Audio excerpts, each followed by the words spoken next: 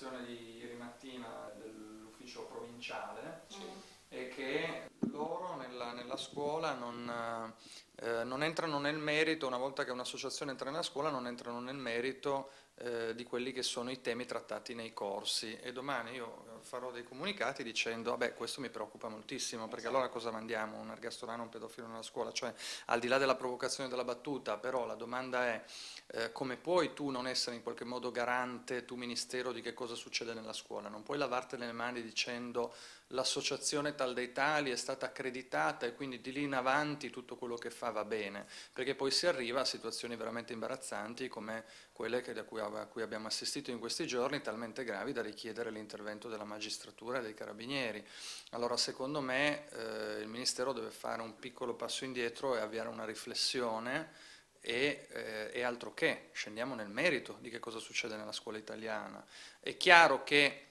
non possiamo, non è, non è ipotizzabile che l'ente pubblico scenda nel dettaglio dei singoli moduli di che cosa si parla o di che cosa non si parla, ma un'attenzione deve esserci e deve essere un'attenzione sicuramente maggiore rispetto a quella prestata in questa occasione, non ce ne si può lavare le mani dicendo come pare essere uscito ieri il messaggio dal, dall'ufficio scolastico provinciale, eh, noi non sapevamo, adesso risponderemo alla magistratura. Beh, insomma, un po' tardivo come presa di posizione.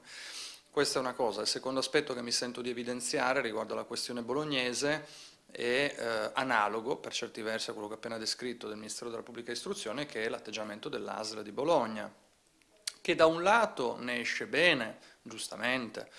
perché chi si occupa di neuropsichiatria a Bologna ha un punto di vista equilibrato, da pochi psicofarmaci, li dà solo quando servono, si rifà a delle linee guida eh, più restrittive addirittura di quelle utilizzate normalmente, cioè laddove la maggior parte degli psichiatri utilizzano per questo tipo di diagnosi eh, le schede, gli schemi, le linee guida del DSM, il manuale statistico diagnostico che è scritto da un'associazione psichiatrica privata americana, invece l'AS di Bologna si rifà eh, al manuale diagnostico dell'Organizzazione Mondiale della Sanità, che è un ente sovranazionale, più serio, un punto di vista più equilibrato e più prudente, quindi ne esce indubbiamente bene da questo punto di vista, ma anche lì non può lavarsene le mani. Mi spiego meglio, l'AS di Bologna era al corrente, e ne abbiamo le prove, che esisteva questa migrazione di piccoli pazienti dall'Emilia Romagna verso il Veneto lo sapevano, lo sapevano da mesi, sapevano che c'era eh, questa migrazione alla ricerca di quella che abbiamo definito provocatoriamente la ricetta facile, o meglio, la ricetta più facile rispetto a Bologna. Mi spiego meglio, il bambino che a Bologna era considerato ehm, lievemente problematico e quindi il disagio del bambino era affrontabile con eh, psicoterapia, terapia della parola, pedagogia clinica, insomma con tutta una serie di eh, modalità di intervento non farmacologiche, eh, magicamente arrivava in Veneto a San Donà di Piave e in altre strutture pubbliche e diventava gravemente patologico tanto da richiedere lo psicofarmaco. Era lo stesso identico bambino, com'è possibile che in un ASL sia lieve e in un'altra ASL sia grave?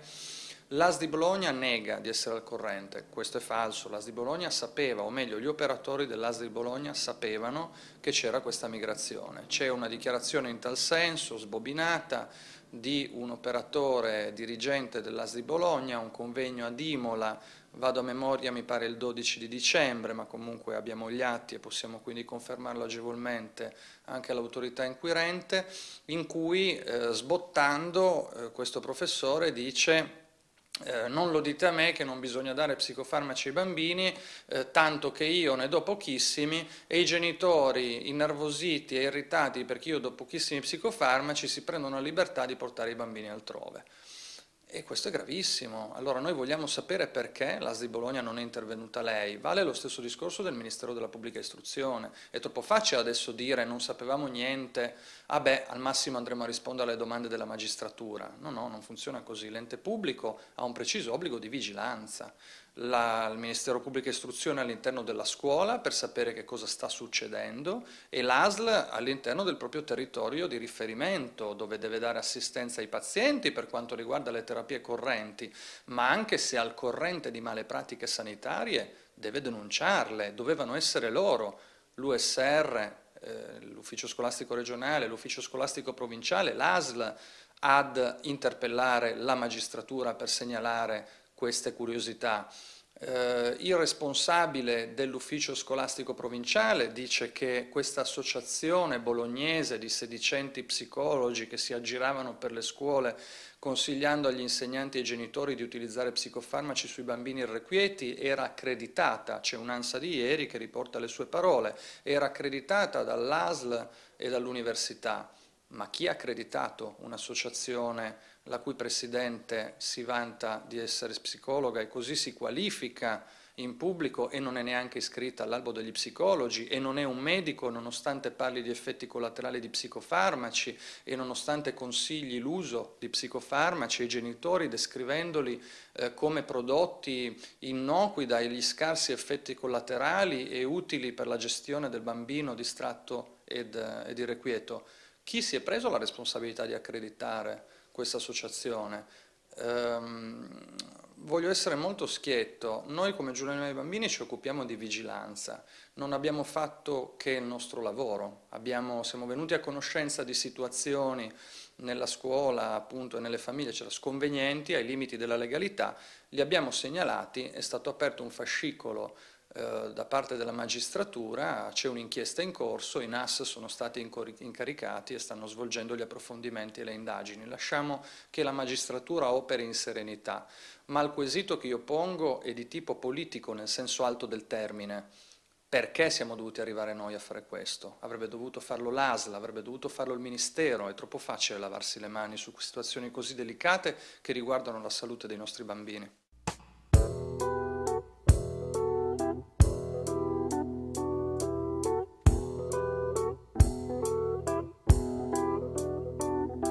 Siamo con Luca Poma, che è responsabile di, della, di questa organizzazione, si chiama Giù le mani dai bambini. Di che cosa si occupa nello specifico eh, Giù le mani dai bambini ehm, e che eh, rapporto, che relazione ha con questa, mi permetto di dire, nuova sindrome eh, che è appunto la ADHD. Giù le mani dei bambini, io ne sono il portavoce nazionale, sono un giornalista e Giù le mani dei bambini è un comitato, vuol dire un'associazione di associazioni, diciamo, una serie di enti si sono riuniti intorno a un tavolo e hanno deciso di dedicare una parte delle loro risorse professionali, della loro attenzione al tema dell'infanzia, concentrandosi però su campagne specifiche. Ehm, quella che stiamo seguendo negli ultimi anni è appunto una campagna di farmacovigilanza. Eh, sono 184 gli enti riuniti intorno a questo tavolo, in questo consorziati in giù le mani dei bambini, tra cui 11 università, ordini dei medici, associazioni sociosanitarie, genitoriali, eh, che si occupano, dicevo, di farmacovigilanza. Questo che cosa significa? Eh, in breve, significa sensibilizzare, informare e vigilare che non ci siano abusi in un settore molto delicato che è quello appunto del rapporto tra eh, farmaci e bambini, segnatamente tra psicofarmaci e bambini. Era arrivata, è arrivata quest'onda lunga eh, di allarme dagli Stati Uniti dove sono circa 11 milioni di bambini in terapia con psicofarmaci per risolvere i loro disagi del comportamento. Inizialmente si riteneva fosse un problema solo americano, poi eh, qualche anno fa è uscito un avviso ufficiale delle Nazioni Unite, eh, dell'International Narcotic Board dell'ONU, che è un organismo che si occupa proprio di vigilare su droghe, farmaci e prodotti di questo genere psicoattivi, che dice, che metteva allarme dicendo c'è stato un più 100% di vendita di questo tipo di prodotti psicoattivi per i minori in 50 paesi del mondo, inclusi nove paesi europei, tra cui anche paesi come la Spagna, per esempio, o la Francia, che hanno un sistema, eh, una struttura culturale molto simile all'Italia. Ehm, e poneva questo avviso dell'ONU eh, l'accento sul fatto che si teme che in molti di questi paesi si possa arrivare ad un abuso prescrittivo, a un'iperprescrizione, ad un utilizzo troppo disinvolto esattamente al pari di quello che è successo negli Stati Uniti. L'Inghilterra è già assolutamente, in Inghilterra è già assolutamente il caso di parlare di emergenza sanitaria con oltre 500.000 bambini sotto metanfetamine per risolvere problemi di eccessiva agitazione a scuola. Ehm, allora, ci siamo posti il problema, questa serie di enti, se posso prima di fare qualcosa a riguardo, cioè di intervenire perché non accadesse anche in Italia, di intervenire affinché ehm, in qualche modo si evitasse, cito un vecchio adagio popolare, di chiudere poi la stalla quando i buoi erano scappati e quindi eh, facciamo qualcosa per informare la popolazione. Questo non significa, vorrei specificarlo da subito, e questa è una parte veramente fondamentale del nostro lavoro, né demonizzare eh, i farmaci, né eh, condurre battaglie ideologiche contro le multinazionali, non è questo il nostro scopo. Per assurdo, lo dico come provocazione, anche se a titolo personale sono contrario, eh, anche perché ho avuto modo di approfondire molto l'argomento facendo questo lavoro, per assurdo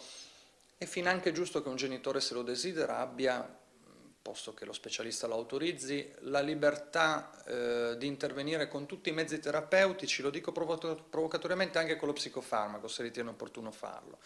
Qual è il discorso che facciamo noi? Assicuriamoci che i genitori, le famiglie, gli insegnanti, gli operatori siano completamente informati, perché da, un, da una completa, obiettiva ed equidistante informazione deriva una cosa importantissima che è la consapevolezza. Quando il genitore ha la piena consapevolezza dei rischi che corre nel somministrare uno psicofarmaco a un bambino di 6-8 anni, puntualmente sceglie altre soluzioni. Quindi il, il grosso lavoro nostro non è eh, indirizzato verso un proibizionismo ehm, che ci riporterebbe indietro di anni, non è quello lo scopo. Il nostro lavoro è organizzato verso un'informazione completa e corretta che in Italia probabilmente su questi temi mancava. Quindi abbiamo anche attivato un portale internet che è giulemanidebambini.org che per una scelta, anche qui uso il termine politica nel senso alto del termine, eh, è un portale di libero accesso, nel senso che tutti i documenti sono scaricabili dalla cittadinanza gratuitamente, anche quando a noi costa in qualche modo magari tradurli perché sono ricerche di università estere in lingue straniere, eccetera, e, e tutti i documenti sono scaricabili senza bisogno di registrarsi sul portale, senza neanche bisogno, in completo anonimato. Questo perché lo spirito è stato proprio quello di garantire un'informazione accessibile a tutti indistintamente, non mi interessa sapere chi è che mi sta chiedendo qualcosa, è un mio dovere fare informazione. Questo si incrocia con un po' la filosofia di Giù le mani dei bambini, eh, che è quella di essere un'organizzazione completamente orizzontale. Noi non abbiamo un presidente, un direttivo, un vicepresidente, un segretario generale, come tante altre realtà del no profit. È una realtà eh, trasparente, su base democratica, completamente orizzontale, siamo tutti volontari, io stesso sono un volontario. E, ehm, il nostro, il nostro, obiettivo è questo, informare, abbiamo già distribuito circa 700.000 pubblicazioni gratuite con spese postali a nostro carico a tutte quelle famiglie che ritenevano di avere necessità di comprendere questo fenomeno, fenomeno, quello degli psicofarmaci ai bambini, che affonda le proprie radici in un problema tutto contemporaneo, quello per certi versi dell'ansia da performance, questi bambini non hanno neanche più diritto ad annoiarsi, guai a dire un bambino si annoia, no? mentre invece la noia dovrebbe essere un momento in cui mi interrogo, in cui, eh, come posso dire, mi guardo dentro, in cui ricerco nuovi stimoli, mentre invece oggi come oggi i bambini assolutamente non devono più annoiarsi, hanno la scuola, finita la scuola c'è la lezione di inglese, poi c'è la piscina, poi c'è la palestra, poi ci sono i compiti, allora interroghiamoci su che tipo di mondo noi stiamo offrendo a questi bambini. Tanti di loro eh, sono iperattivi, irrequieti, distratti, interroghiamoci su quanto tempo passano davanti alla tv, interroghiamoci sugli spazi che noi gli stiamo garantendo, o meglio, che non gli stiamo più da tempo garantendo per sfogare la propria energia, interroghiamoci appunto sulla gestione dei tempi, che è profondamente sbagliata a nostro avviso. Ecco, ci sono tutti questi interrogativi che però puntualmente ci riportano a un minimo comune denominatore, all'adulto, non al bambino, cioè a che cosa gli adulti oggi offrono alle nuove generazioni, questa è la grande domanda. Vogliamo dire che cos'è l'ADHD, perché se ne parla tanto, ma magari cercando di eh, esprimere in maniera divulgativa il, e l'esteopatogenesi e la sindrome in sé per sé. Vi dico che cos'è in breve, ADHD è la sindrome da iperattività, l'acronimo inglese di sindrome da iperattività e deficit di attenzione, quindi i bambini eccessivamente eh, agitati per certi versi e con poca disponibilità ad ascoltare a prestare attenzione. Vorrei sfatare in estrema sintesi alcuni miti. Il primo, ehm, non esiste ancora una prova scientifica certa sul fatto che questa, questo problema del comportamento sia una malattia di origine organica da curare con farmaci, piuttosto che invece, come molti specialisti a cui noi facciamo riferimento sostengono, non sia invece un problema ambientale collegato appunto a problemi sociali, di ritmi di vita, di rapporti con gli altri, eccetera, pedagogici e quant'altro.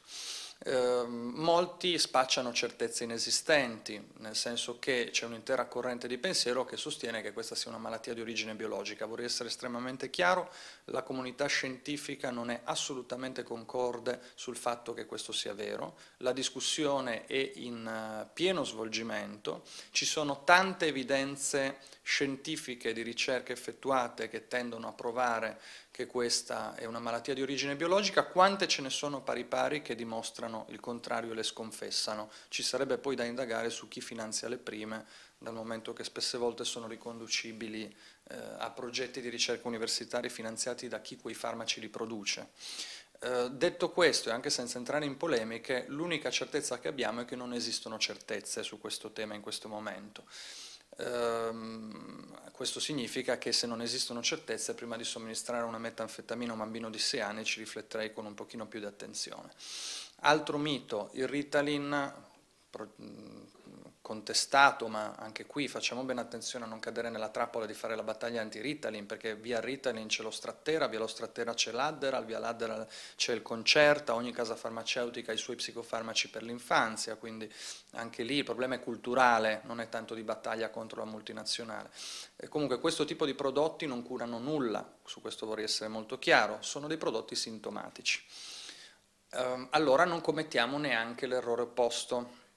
mi spiego meglio. Uh, il bambino che, come dico spesse volte io nei convegni con una battuta, prende a forbiciate i compagni e si arrampica sulle tende e dà gli schiaffi agli insegnanti, non è un bambino normale, cioè è un bambino che ha un problema, mi spiego meglio. Uh, non possiamo cadere nella trappola opposta di dire ah è solo un bambino vivace, finché poi non ammazza qualcuno, finché poi non si fa del male lui stesso. Ci sono situazioni veramente limite che solo un genitore che ha in casa un bambino del genere riesce a comprendere, situazioni di vera difficoltà. Quindi è assodato che questo bambino ha un problema ed è assodato che deve essere preso in carico. Casomai il discorso è che tipo di risposta noi diamo a questo problema. Il farmaco è un sintomatico, non cura niente, risolve eventualmente i sintomi, quindi rende più accettabile socialmente il bambino. Può avere un utile effetto contenitivo. Uh, il bambino sta per farsi male o per fare del male agli altri, può essere un'arma nell'arsenale terapeutico che permette di porre sotto controllo la situazione, ma non risolve nulla. Qual è allora la grande trappola? Eh, do eh, il metilfenidato, do la tomoxetina eh, un altro principio chimico del genere a un bambino, risolvo il sintomo, ah che bello il bambino è guarito, continuo a darglielo. Sono psicofarmaci che dovrebbero appunto eventualmente essere utilizzati in maniera residuale, proprio in casi estremi, per quelle 3, 4, 5 settimane, un mese, due mesi massimo, per permettere poi di fare strada ad altre terapie, ci sono invece bambini che sono due anni, tre anni, quattro anni che assumono continuativamente questo psicofarmaco perché? Perché il bambino è tanto tranquillo da, prendere, da quando prende la pastiglia. C'è chi sostiene che sia una malattia geneticamente determinata. Questo è assolutamente... Allora, chi sostiene questo dovrebbe provarlo. Uno dei più grandi sponsor della soluzione farmacologica che Berkeley negli Stati Uniti, un professore universitario, ammette due anni fa in una conferenza pubblica eh, è vero, non abbiamo ancora trovato un marcatore biologico della DHD. Allora, dichiarazioni di principio francamente hanno stufato, quelli che io chiamo i sacerdoti della morale scientifica che si stracciano le vesti non appena qualcuno li mette in discussione, dovrebbero, cito Enrico Nonnis, grande neuropsichiatra infantile di psichiatria democratica, dovrebbero fare un bagno di umiltà e ripartire da queste poche basi. Sulla DHD o comunque sull'iperattività, sui problemi di comportamento dei bambini non c'è ancora niente di certo. Gli psicofarmaci non curano nulla e servono solo per contenere i sintomi, bisogna avere più risorse nella scuola e nel servizio sanitario per fare interventi di tipo diverso che vadano a caccia di quello che è il vero problema profondo che genera il disagio del bambino. Questi sono eh, diciamo, i tre punti fondamentali. Chiarito questo e quindi fatto il bagno di umiltà, tutti quanti seduti intorno a un tavolo, di lì ripartiamo e cerchiamo soluzioni adeguate per questi disagi del mondo dell'epoca contemporanea che certamente riguardano sempre più bambini e sempre più adolescenti, ma prima bisogna fare questo piccolo passo indietro. Del resto è comprovato che viviamo in un contesto sociale assolutamente patogeno, in quanto compulsivante, in quanto induttore di patologia nei bambini, negli adolescenti, per focalizzare l'attenzione su questa, su questa fascia. Eh, io vorrei sottolineare un attimino ciò che ormai è comprovato, ossia gli effetti collaterali che eh, questa mh, tipologia di farmaci procura. Ci sono delle interferenze sulla eh, crescita eh, fisica del, del, bambino, quindi verissimilmente ag agendo a livello del sistema dop dopaminergico, ovviamente questo farmaco in, interferisce con eh, l'ipofisi e con tutto quello che ci va dietro. Quindi, e inoltre andando ad eh, impegnare i recettori, i recettori del sistema dopaminergico, chiaramente eh, che, cosa può, che, cosa può, procurare al bambino. Lo può trasformare in un tossicodipendente, punto di domanda, lo può trasformare in un eh, compulsivo che poi porta a quelli che sono i sindromi da le sindromi da disturbi di relazione, vedi i disturbi del comportamento alimentare, vedi le sindromi da dipendenza tipo l'autolesionismo, ecco perché queste sono domande che a mio avviso vanno poste, vanno chiarite perché non si parla solo di bambini, si parla di bambini che diventeranno adolescenti, che diventeranno Uomini, adulti. cittadini. Il problema degli effetti collaterali è un problema e non possiamo tacerne. Eh, mi spiego meglio e cerco di rendere il concetto in maniera divulgativa. Eh, questi farmaci hanno effetti collaterali, basta prendere il bugiardino e sincerarsi. Eh, dico qualcosa di più, eh, al di sotto di un certo tasso di mortalità o di problemi eh, iatrogeni la casa farmaceutica non è eh, obbligata a segnalarlo nel bugiardino, quindi in realtà per avere, e qui ci sarebbe granché, un grande discorso da fare in termini di trasparenza nei confronti del cittadino, per avere un quadro completo degli effetti collaterali noi dobbiamo leggere la scheda tecnica che è riservata agli addetti ai lavori, che si trova solo in ambito ospedaliero. Mi chiedo perché ci siano delle informazioni che in qualche modo devono essere disponibili al medico e non al paziente, soprattutto quando parliamo di bambini. Noi per non sbagliare sul nostro portale li abbiamo pubblicati entrambi, sia il bugiardino che la scheda tecnica, facendo magari un po' irritare il produttore, ma per noi c'è un bene eh, che è superiore a qualunque altro che è l'interesse del minore. Ehm, quali sono gli effetti collaterali? Appunto, scaricando la scheda tecnica li potete vedere sul portale, ma eh, cito una cosa che forse in Italia è uscita poco. La Food and Drug Administration, che è l'ente, il massimo ente sanitario di controllo americano, eh, non più tardi di sei mesi fa emana quello che in gergo tecnico chiamiamo un warning urgente, cioè un avviso eh, urgente che manda alle case farmaceutiche e a tutti i medici abilitati all'esercizio della professione negli Stati Uniti, in cui obbliga le prime a riportare come eh, si usa da noi per i pacchetti di sigarette in un apposito riquadro nero, il cosiddetto black box, sulle confezioni tutti i nuovi eh, gravi rischi riscontrati dalle più recenti ricerche eh, nell'utilizzo di questi psicofarmaci e sono effetti collaterali non da ridere, eh,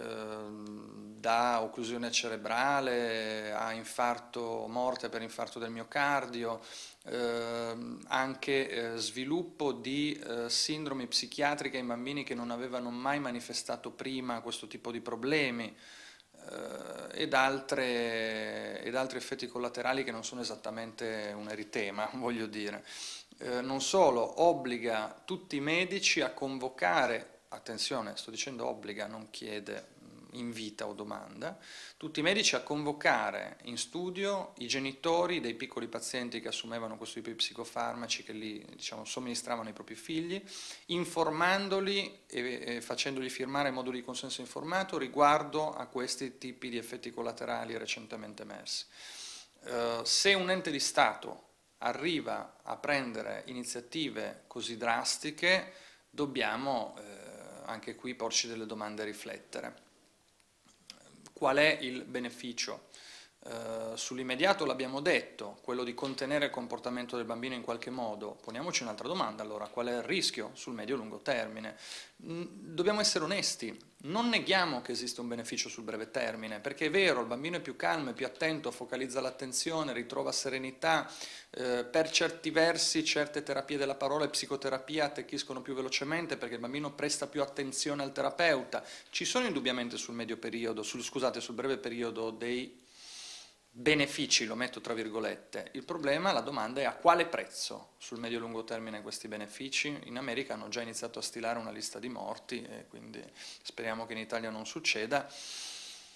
in Italia. In Italia esistono dei protocolli, noi non abbiamo paura di ammettere questo, sicuramente migliori di quelli americani, ci voleva anche poco vista la situazione negli Stati Uniti, comunque sicuramente migliori di quelli americani. È stato attivato un registro su cui verranno iscritti questi bambini in maniera anonima, nel senso che solo l'Istituto Superiore di Sanità potrà accedere ai dati, sono server eh, con standard di sicurezza elevati, non è possibile intrusioni dall'esterno, insomma, la privacy è eh, adeguatamente, pare da quello che ci raccontano, tutelata, eh, questo registro servirà proprio per capire chi consuma che cosa, in quali quantità, verificare se ci sono meno abusi nella prescrizione. Eh, qual è il grosso eh, punto critico del sistema? I protocolli, cioè le linee guida che regolano la diagnosi e poi soprattutto la somministrazione di questi psicofarmaci. Perché? Perché dovevano essere uno spioncino, per usare una metafora, e sono un arco di trionfo, cioè è troppo alto il margine interpretativo per lo specialista,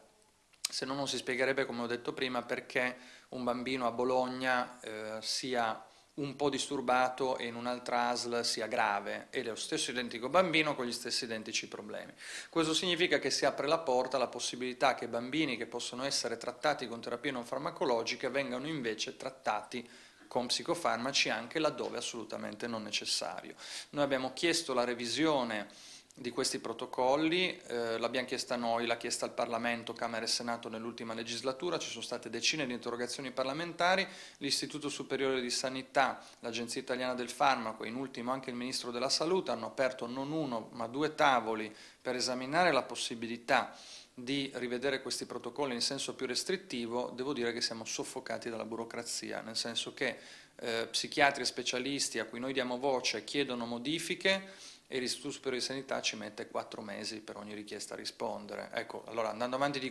te con questi tempi forse modificheremo i protocolli tra dieci anni, nel frattempo chissà quanti bambini avranno già somministrato psicofarmaci quando non, quando non necessario. La cosa interessante da notare è anche un'altra, qui non stiamo facendo una battaglia ideologica, ehm, è facile poter dire Uh, a me per esempio che sono un giornalista cosa vuoi capirne, non sei un medico. Uh, qui ci sono neuropsichiatri infantili che dicono che non va bene somministrare questo tipo di farmaci ai bambini, ci sono psichiatri, pedagogisti clinici, uh, docenti universitari in medicina, in pedagogia, in psicologia.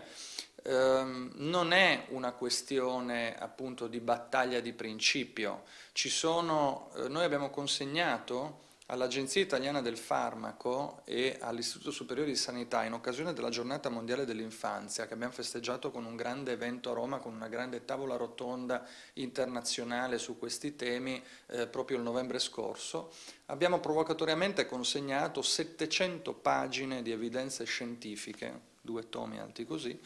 che criticano questi protocolli, che mettono in dubbio la necessità di utilizzare questi farmaci, eccetera. Eh, ci è stato risposto li studieremo, ma io veramente non capisco, nel senso che cioè, è mai possibile che dobbiamo essere noi a segnalare queste circostanze? Dovrebbero essere loro, casomai, che vigilano e prendono provvedimenti. Invece ci sembra, come dire, anche senza accusare nessuno di malafede, ma che ci sia un certo, un certo, lassismo. Forse io capisco che l'agenzia regolatoria, l'agenzia del farmaco e l'Istituto Superiore di Sanità abbiano molte cose in agenda all'ordine del giorno, eh, però a nostro avviso questo problema che riguarda la salute dei bambini dovrebbe essere percepito come un'urgenza di carattere diverso, dovrebbe esserci maggiore attenzione e una più sollecita volontà nel migliorare le cose, non basta coccolarci nell'idea che abbiamo fatto meglio degli americani, perché si può fare ancora molto meglio di quello che abbiamo fatto e non capiamo perché non sta venendo fatto. Non pensi che eh, una um, campagna di informazione a tappeto, sia per quanto riguarda anche i semplici medici di base, eh, perché comunque è da loro che parte eh, l'invio verso la neuropsichiatria, e gli insegnanti, perché poi sono i due, mh, diciamo, i due punti di partenza di tutta la faccenda, potrebbe in qualche modo aiutare a velocizzare e se non altro a chiarire le idee a questi poveri genitori che si trovano poi in balia, perché io non mi sento di colpevolizzare i genitori, perché in effetti, come hai detto tu giustamente, cioè avere un bambino altamente irrequieto, chiamiamolo così, in casa non è una roba semplice. Però se, noi, se si riuscisse a fare una campagna a largo raggio eh, di informazione, come state facendo peraltro voi, ma che tutte le organizzazioni che vi appoggiano e eh, cercando di allargare sempre di più, magari riuscire ad arrivare a a tutti i medici di base, a tutti gli insegnanti. Sì, questo, eh, questo, sì, sì, questo, va assolutamente fatto, noi stiamo cercando di farlo con un'unica scriminante limitatamente alle risorse che abbiamo, nel senso, lo ripeto, Giù le mani dei bambini è appunto un'iniziativa che si basa esclusivamente sulle gambe di volontari, non abbiamo grandi multinazionali che ci finanziano e, e quindi cerchiamo di darci da fare per dire solo questa settimana eh, saremo presenti in due città per due convegni informativi, eh, dopodomani io sarò a Trento, poi sabato mattina saremo a Milano per un altro convegno di sensibilizzazione eh, e abbiamo nei prossimi 60 giorni sette appuntamenti pubblici eh, in giro per l'Italia, quindi si cerca di fare tutto quello che riusciamo a fare anche con l'aiuto dei membri del, del consorzio del Comitato Giuliani dei Bambini. Sarebbe bello che questo invece venisse anche fatto un po' eh, da parte pubblica forse, no? eh, tuttavia mh, lancio una preoccupazione, una provocazione, forse è meglio se non lo fanno, nel senso che per come attualmente è inteso il problema della somministrazione di psicofarmaci ai minori non mi stupirebbe se l'Istituto Superiore di Sanità o l'Agenzia del Farmaco organizzassero una serie di conferenze come hanno già fatto per andare in giro a spiegare che è opportuno dare gli psicofarmaci ai bambini iperattivi, no? eh, quindi forse è meglio se non fanno nulla in questo momento perché il loro comitato scientifico composto da tutta una serie di personaggi, eh, ecco come dire hanno un orientamento molto organicista, per loro lo psicofarmaco è una soluzione, eh, non sono molto disponibili eh, ad ammettere altre voci e a prendere nell'ambito di quelli che sono i protocolli scientifici, lo ripeto, in considerazione altri punti di vista e quindi finché non modificano un po' il loro modo di approcciare al problema forse è meglio se non fanno nulla. Io ci terrei a sottolineare che il fatto di non essere eh, in perfetta sintonia con l'utilizzo degli psicofarmaci e per trattare delle sindromi, quindi dei sintomatici, perché poi questi sono solamente dei sintomatici, eh, non vuol dire non essere degli organicisti. Cioè io sono un organicista, sono un internista, però comunque ci si pone il problema su base scientifica. Quindi mh, voglio dire, ecco, do, forse dovrebbe svilupparsi la coscienza da parte dei medici, adesso parliamo di questa categoria che poi è quella incriminata tra virgolette perché non vogliamo incriminare nessuno, però insomma eh, affinché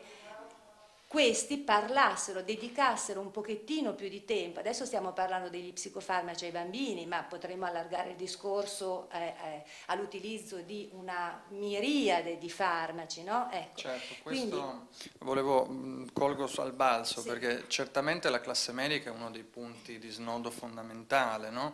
eh, quanto il medico ha voglia veramente di prendere in carico il disagio del bambino e quanto anche le risorse per farlo. Mi spiego meglio. Ci sono eh, ad oggi, mi pare, codificate con certezza 184 patologie vere, pediatriche cliniche, che hanno nel, nella propria batteria di sintomi eh, la forte iperattività del bambino. Questo che cosa significa? Faccio un esempio molto banale. L'eccesso di metalli pesanti nel sangue in base a una serie di ricerche universitarie genera forte iperattività nel bambino. Uh, idem i uh, coloranti, alcuni coloranti della classe E che troviamo nelle merendine quando vediamo i numerini E212 eccetera. Anche se citta, senza citare i numeri ma si trovano facilmente su internet ce ne sono una serie che generano forte iperattività in, nel bambino in virtù di un'intolleranza eccetera. Eh, qual è la grande mistificazione, il grande inghippo in cui spesse volte cade l'addetto ai lavori, il sanitario, lo specialista? Non si riesce a tracciare qual è la vera origine di questa iperattività. Mi spiego meglio. È molto più semplice, semplicistico direi io, etichettare tutto come ADHD. Cioè questi sintomi no, che un, un, un, eh, uno psicologo definisce sintomi prezzemolo, che stanno un po' in tutta una serie di patologie, eh, sono eh, l'ADHD, punto. Stiamo rendendo un pessimo servizio al bambino per due ordini di motivi. Primo perché non indaghiamo su qual è il vero motivo che sta alla base della sua iperattività. Io do la metanfetamina al bambino, eh, non sto risolvendo il suo problema di intossicazione, di coloranti, di intolleranza alimentare o di metalli pesanti nel sangue, eh, che continua a persistere, magari il bambino è ancora più intossicato di ieri e domani lo sarà più di oggi, non solo sto facendo un pessimo servizio al bambino, perché? Perché sto camuffando, coprendo e cancellando il campanello di allarme, cioè perché è utile il sintomo? Perché ci dice che c'è qualcosa che non va, ci allarma, ci dice guardami, ho un disagio, ho qualcosa che non funziona. Invece io con lo psicofarmaco copro il sintomo e lo cancello e continua ad esserci il problema. Eh, I protocolli del Ministero prevedono la possibilità di esaminare una decina di queste patologie, e beh, 10 su 184 francamente abbiamo ancora molti passi da compiere. Ecco che allora il ruolo del medico nell'informarsi, nell'approfondire, nel fare magari un mineralogramma del capello al bambino, so, questo è il lavoro dei medici, non entro nel merito, ma nel fare tutta quella serie di azioni che oggi non sempre vengono fatte, non facciamo di tutta l'erba un fascio, ci sono anche ASL che lavorano benissimo, ma in Italia la situazione è un po' a macchia di leopardo, nel fare tutta quella serie di azioni che ci permettono di escludere tutti i motivi per cui questo bambino è iperattivo. I nostri specialisti, i nostri neuropsichiatri ci dicono che il 99,9%, mentre se viene fatta con serietà questo screening, scopriamo che questo bambino è iperattivo perché veramente ha un problema magari medico-pediatrico o psicologico ambientale, insomma di altri altro genere e quindi l'iperattività non è una malattia, ma è un sintomo di un disagio più profondo che dobbiamo andare a indagare per riuscire a risolvere. Allora questo è un discorso serio di approfondimento, non il prendere tutto, riunirlo sotto un'unica etichetta e dare un farmaco psichiatrico per risolverlo, per tentare di risolverlo. Ecco. Mm, come ultima domanda, poi non ti disturbo più, tu non pensi che eh, agire a livello sempre di informazione, io sono una fanatica della, del passaggio di informazione ai pazienti perché così possono avere la libertà di fare delle scelte eh, eh su base cognitiva, eh, alle famiglie, perché verissimilmente questa sindrome, e non sono l'unica a, a dirlo, insomma ci sono eminenti specialisti che già lo dicono, va ricercata nella dinamica familiare al di là del contesto sociale che soverchia tutto, però insomma nella dinamica familiare. Quindi prima di arrivare a fare tutte queste valutazioni sul bambino, quindi sul Indagare, su chi è, dici esatto, la famiglia, esatto. certo, questo è un punto nodale, quando c'è un bambino disturbato spesse volte c'è un adulto disturbato, dice il luogo comune, ma spesse volte è proprio così indagare nel profondo che cosa sta succedendo a questo bambino a casa, che cosa sta succedendo a scuola, quali sono magari un adolescente, per esempio, quali sono i disturbi nell'evoluzione della sfera sessuale, quali sono i problemi di accettazione nei confronti degli altri, sono veramente tanti problemi che vanno indagati. Cito un grandissimo personaggio americano che è Bill Carey. William Carey è un grande pediatra americano, è uno dei grandi esperti mondiali nel problema dei disturbi del comportamento, è membro dell'Accademia delle Scienze USA e, eh, ed è professore di pediatria clinica negli Stati Uniti in una nota università. E lui è venuto in Italia recentemente per un convegno su questi temi a Roma e ha lanciato un appello molto forte dicendo fiducia nel buon senso degli italiani, fate attenzione a non commettere i nostri stessi errori che abbiamo commesso negli Stati Uniti, diffidate dalle soluzioni, quelle che lui chiama soluzioni quick fix, soluzioni facili a problemi complessi. Noi dobbiamo capire che questa mentalità, eh, con tutto rispetto per gli amici statunitensi, ipersemplicistica, o è tutto bianco o è tutto nero, o stai bene o stai male. Se sei fuori da certe griglie non sei più normale, tra virgolette, e se non sei più normale che cosa puoi essere in questa eh, diciamo, forma di dualismo? Se non sei normale sei patologico e allora tutto va curato e va curato velocemente e subito, perché domani devo andare in palestra in piscina, perché domani devo studiare. E che cosa meglio allora della pastiglia che risolve il problema? Ecco, questa mentalità quick fix è veramente far abbrividire. Per fortuna non ci appartiene in Italia, quindi combattiamo contro queste sirene del tutto subito e facile che arrivano da oltreoceano. E anche senza promuovere una cieca battaglia contro le multinazionali americane, siamo, cerchiamo però di essere consumatori accorti e consapevoli. In questo eh, TV come la vostra fanno la differenza perché è vero, l'informazione è in questo caso specifico psicofarmaci sui bambini veramente il punto chiave, fondamentale. Arrivare ai genitori, alle famiglie, agli operatori, spiegare, far capire, magari spendere quei tre minuti in più di un servizio al TG, ma far passare veramente il messaggio. Perché? Perché le pressioni sono forti per contro. Non possiamo nasconderci, anche senza appunto far battaglie cieche, che questo tipo di eh, psicofarmaci rappresenta un nuovo business, sono circa 12 miliardi di dollari all'anno di giro d'affari solo per i farmaci per l'iperattività, vuol dire quasi eh, o qualcosa più di 20 mila miliardi di vecchie lire. Il solo metilfenidato genera un giro d'affari di oltre 2 miliardi di dollari all'anno. È vero, alcuni dicono in maniera del tutto veramente in malafede, è un farmaco che costa poco. Sì, è un farmaco che costa poco, peccato che ne vendano milioni di confezioni e quindi genera un giro d'affari importante. Eh, l'abbassare la soglia di prescrivibilità, come è stato fatto recentemente per esempio per il Prozac, che mi duole dirlo si può dare ai bambini di 8 anni, in caso di depressione mi piacerebbe ancora capire come determinare che un bambino di 8 anni è depresso, ma veramente, oppure grande business anche quello, un adolescente depresso, quale adolescente non è stato depresso una volta in vita sua, per mille e uno motivi legati a quella fase delicata che è quella dello sviluppo. Allora le pressioni per abbassare la soglia di prescrivibilità di questi farmaci sono veramente fortissime, perché nessuno, vedete, fino a vent'anni fa aveva mai pensato di dare uno psicofarmaco così potente a un bambino di 6 anni, di 8 anni. E invece oggi si inizia a fare, si fa, e questo è l'allarme che dobbiamo lanciare, perché come dice un grande psichiatra, Agostino Pirella, che è presidente onorario di Psichiatria Democratica, il farmaco ormai soffre ad essere considerato una merce come tutte le altre, mentre invece lo è, perché si vende con tecniche di marketing al pari di un'automobile o di un telefonino, perché ci sono fior di associazioni in giro per il mondo, ce ne sono sono ben eh, tre o quattro anche in Italia, di genitori che costituiscono a volte anche inconsapevolmente il cavallo di Troia delle multinazionali, perché se una multinazionale mi dice che lo psicofarmaco fa bene, me lo dice il produttore, magari diffido un attimo, ma se me lo dice un altro genitore, che è un mio pari, gli do molto molto più retta. In Germania hanno distribuito, un nostro testimonial Beppe Grillo ha eh,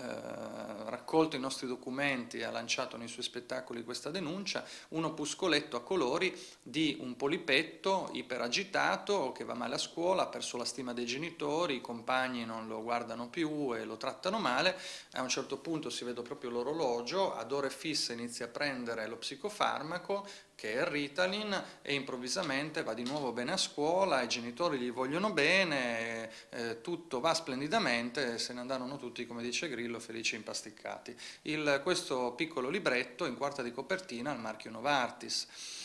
è stampato dalla multinazionale che produce il farmaco, quando il bambino, e, e, e, mira a rendere al bambino accettabile l'assunzione dello psicofarmaco, tutto bello a colori, disegnato. Ecco, quando il bambino diventa in qualche modo soggetto diretto di un meccanismo di marketing, dobbiamo veramente porci delle domande serie su dove sta andando questa società. Ma sai, quando cominciano a eh, proporre un antidepressivo come il Prozac e definendolo la pillola della felicità, eh, già da lì si capiscono parecchie cose. Io lancerei un, un, un, sasso, che magari è una corbelleria immane. Io dico sempre ai miei pazienti, io mi occupo prevalentemente di adolescenti, giovani e adulti, che chi esprime il disagio, questa tipologia di disagi, di solito è la parte sana della famiglia. Forse è un po' provocatorio, però eh, devo dire che la clinica non mi dà tutti i torti, perché poi in effetti chi eh, riesce a eh, buttare fuori anche in maniera anomala il disagio. No, no, viva il disagio, viva il disagio, nel senso raccolgo la provocazione in questa chiave, letta in questa chiave molto intelligente. Viva il disagio perché appunto è il nostro campanello di allarme, quello che ci permette di capire per tempo che c'è qualcosa che non va eh, in questa società dove dobbiamo essere tutti perfetti, tutti smaglianti, tutti mulino bianco per usare una battuta e no, invece viva il disagio che ci permette per tempo di rintracciare qual è il problema, di segnalarci il problema e ci permette di intervenire magari appunto in maniera un pochino più seria che non facendoci ammagliare sbagliare delle, dalle sirene del prodotto in scatola che ci risolve tutti quanti i problemi. Quindi sicuramente il disagio eh, fa parte della nostra vita, il dolore fa parte della nostra vita, poi dobbiamo imparare in qualche modo a gestirlo al meglio, facendoci anche aiutare da chi ci può supportare nell'andare oltre dei momenti di difficoltà anche grave, ritrovando un equilibrio, ecco. questa è vita semplicemente. Sottolineerei anche il grande valore della noia, del silenzio, il famoso spazio del silenzio che ci aiuta a pensare, a ritrovare la capacità di pensare che i bambini un pochettino stanno, stanno perdendo e questo non è colpa certamente loro, ma è colpa di un contesto sociale che sta appiattendo un pochettino la mente di ognuno di noi. Quindi dobbiamo lottare contro, insomma, in questo sì, senso. Sì, lottiamo contro e noi cerchiamo di dare il nostro piccolo contributo anche per questo, cioè eh, per difendere in qualche modo il diritto di tutti tutti, Gianluca, i Marco, i Paolo, perché poi dietro questi numeri, queste statistiche, questo marketing, questi fenomeni ci sono loro, cioè ci sono dei bambini che hanno dei nomi, dei cognomi, delle storie, delle famiglie, un banco di scuola che può essere magari vuoto nel momento in cui il bambino ha un problema serio. Allora noi impegniamoci, noi di Giuliani Bambini, ma tutti quanti come cittadini, a difendere il diritto di questi bambini ad esprimere i propri problemi, il diritto a fare casino, il diritto eh, per assurdo ad avere sfoghi di aggressività nel momento in cui sentono di doverli avere, insegniamogli casomai come fare nel tempo a gestirli, eh, di, lavoriamo per difendere il loro sacrosanto diritto ad essere diversi. Anche perché la diversità è ricchezza. La diversità è un'enorme risorsa, viva la diversità. Esatto. Grazie. Grazie a voi.